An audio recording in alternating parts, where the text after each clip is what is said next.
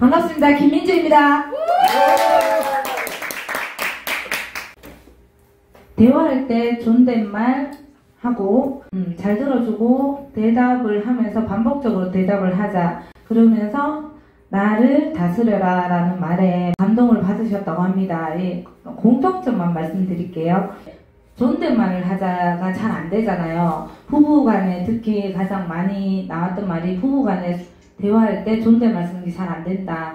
주변 사람들에게 존댓말 하는 게 잘 안 된다고 하시는데 존댓말을 앞으로 자주 어, 사용을 해서 서로를 어, 이해하는 그렇게 해야 되겠다는 생각을 했고요.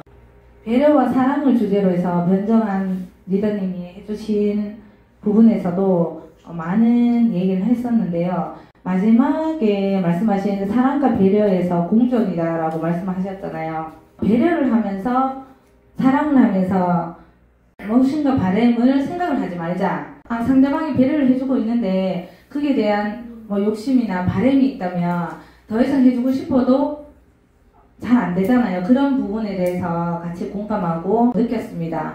강의를 해주신 강사님들께 감사드리고요.